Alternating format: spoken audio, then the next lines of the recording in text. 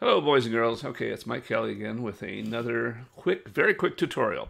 Uh, somebody was asking about getting uh, getting Daz clothing to conform properly. It was poking through and they said, well, maybe it's because, you know, it's a bikini and sports bra or something. Well, here's here's a case where, you know, the default project in uh, Character Creator 3 is a, is a bikini.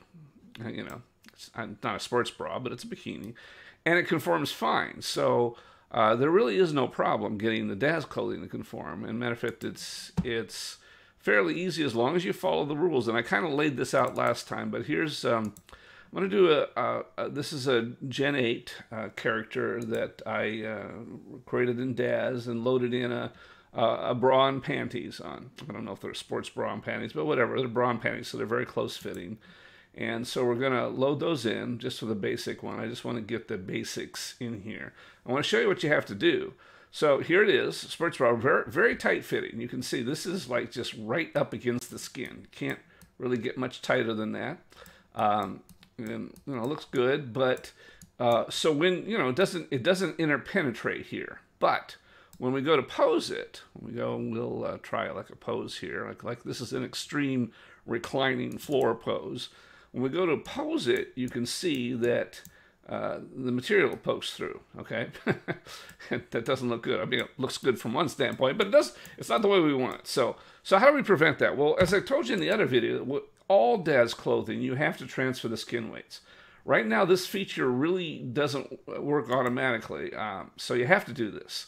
So you always have to apply some template to transfer the weights. Now, uh, there isn't a specific template for this. There's for dresses, gloves, shoes, hair, cloak, other.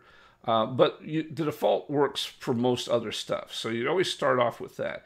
If for some reason the default doesn't work, what you want to do is try to find clothing that does work, and then you can actually save that out. So you can save it as a file, a CC cloth file, and apply that. In this particular case, it would have been easy to use the clothing that works inside of uh, CC3. But but the, the default works fine, so we're going to apply that, and you can see immediately that it that it looks a ton better, um, and that's you know so that's you can see there's still a little bit of problem there, but we're going to address that in a second.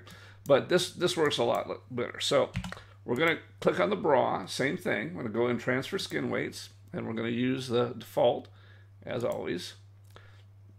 And there we go. So again, we've we've fixed most of the problems, but there's still a little bit of problem. Well, that's because we always got to do a conform. You always have to do a conform after you transfer the skin weights. Very important to do it afterwards. Uh, conforming without transferring the skin weights isn't going to do you any good because it hasn't got the proper weighting on those things. So uh, so we'll do the same on here. We'll do a conform and and do that.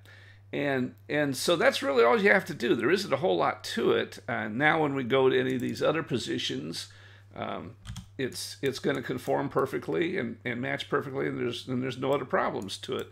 Uh, it's really just a matter of uh, doing those two things.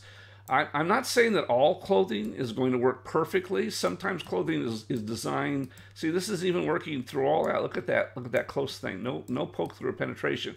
I'm not going to say that this is going to be perfect for you.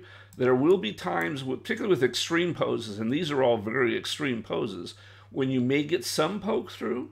Uh, in those particular cases, you can always go to um, down here to the cloth layer settings and run the auto hide.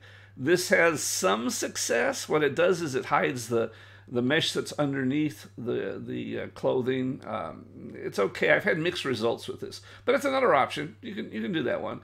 But in general, if you just run those two things, transfer the clothing weights and run and run the conform, uh, then then you'll be fine. So that's basically all there is to it, guys. I hope this helps. And if you have any other questions, make sure you ask me on the tutorials, and I'll try to do my best to get to them.